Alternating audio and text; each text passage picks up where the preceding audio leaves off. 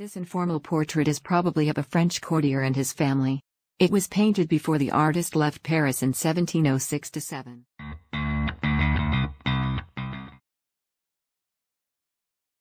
The guitar was popular at the French court in the early 18th century. It was considered especially suitable for accompanying singing.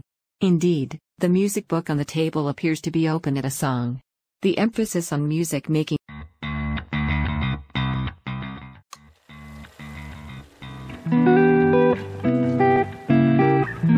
This is a hollow body electric guitar. It marked the first big breakthrough in trying to amplify the sound of a guitar, in an era where music became louder and louder. Us guitarists needed some help. We didn't practice all these skills for nothing. Enter the guitar pickup.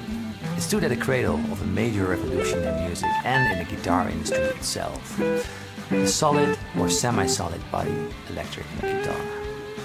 What's so amazing to realize is almost all guitars currently on the market are either a direct descendant or very similar to just a handful of instruments that came to life during the span of just one decade, the 50s. My name is Paul Davids and in this video we'll go over the characteristics and sounds of the most iconic guitar types and brands.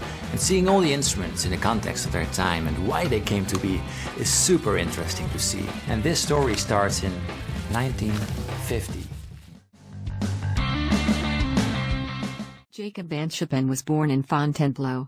He worked in the Netherlands before leaving for Vienna where, in 1725, he was appointed director of the Academy of Fine Arts, when it was reopened by the Emperor Charles VI as the Imperial Academy Painting, Sculpture, and Architecture. His work has been presented at the Belvedere Museum in Vienna.